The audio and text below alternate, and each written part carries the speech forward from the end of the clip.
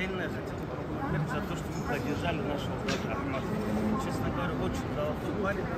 Его поддержали. Нам очень приятно Дагестанцам. Желаю Аллах здоровья.